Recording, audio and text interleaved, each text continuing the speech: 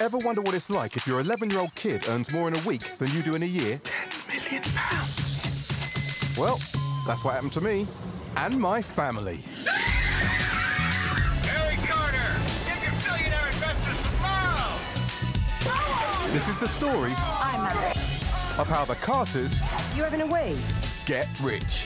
Fair enough. I went twice.